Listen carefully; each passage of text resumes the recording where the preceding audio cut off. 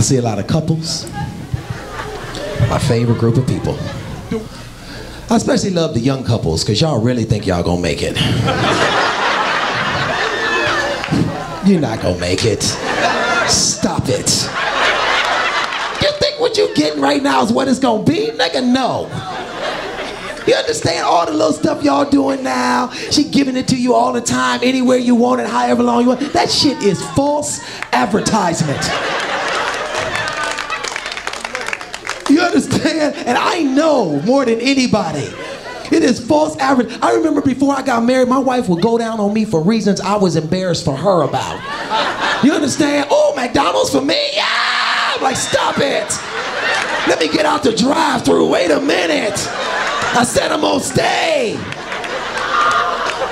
Seven years into this marriage, I can't get my dick near her face. You understand?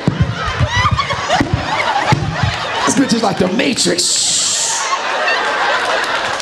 Like, where the fuck she go? I look up, she on the ceiling. It's false advertisement. You understand? It's ridiculous. I see it out here. Some of them got their cleavage out, got glitter on their titties. This is wrong. That's them trying to hook you. Bam. You point to, I'm looking at all titty. Because that's how they hook you, that's how they get you. They reel you in. My wife at home right now, at home. I ain't even there. She got on pajamas with a turtleneck and a zipper on. She called me. I just want to let you know I want to do it. I'm not home. Just trying to keep you in practice.